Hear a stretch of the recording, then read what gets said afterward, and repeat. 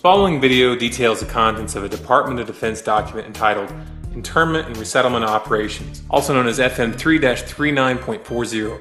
The document is 325 pages long and is signed by Joyce E. Morrow, Administrative Assistant to the Secretary of the Army. It was created in 2010, however, has just been recently leaked to the public via the internet and can now be downloaded from multiple sources. In the description below, you'll find a download link for the document. I strongly encourage you to download it yourself and to verify everything that's being said here.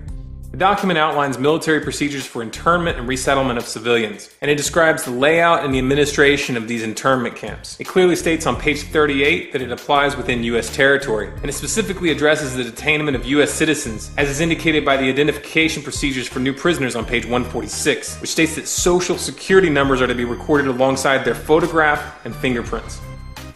Included in the list of organizations which may be involved in these internment operations are the Department of Homeland Security, FEMA, the Department of Defense, and the United Nations. On page 56, the document outlines the responsibilities of psychological operations officers within the camps, among which it states that a PSYOP officer develops and executes indoctrination programs to reduce or remove antagonistic attitudes and identifies political activists. On page 281, the document goes into more detail regarding the role of psychological operations within the camps, specifically in regards to pacifying the population and ensuring cooperation.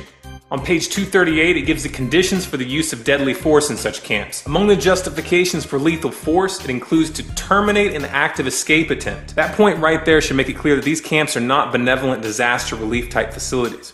On page 244, the document calls for the use of snipers during riots to, quote, scan a crowd and identify agitators and riot leaders for apprehension and fire lethal rounds if warranted.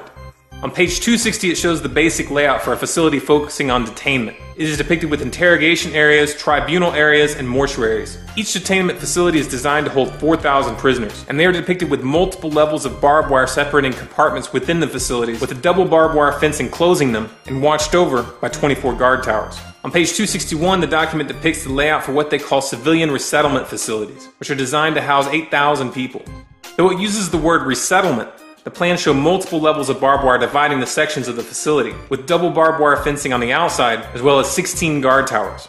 On page 262, the layout for facilities designed for what they call non-compliant prisoners is shown. These camps are designed to hold up to 300 prisoners, they have three interrogation centers, and are guarded by 13 guard towers. Now, if there's any question whether these plans are active or just theoretical, this should be settled by the fact that the US Army has been running ads for job positions in these camps since 2009, and apparently, they're still hiring.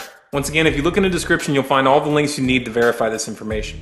It's important to note here that this document was created in 2010, which was under the Obama administration, and it predates the NDAA of 2012, which authorized military detainment of U.S. citizens. This clearly shows a long-term agenda at work. If you believe that this is important information for people to know about, then please share this video with as many people as you can. Share it on Facebook and on Twitter. Send it in emails to friends and family. Especially send it to anyone you know within the police and military. A smart strategy would be to download the PDF yourself and email it to people as an attachment with a link to this video so that they know how to navigate the document.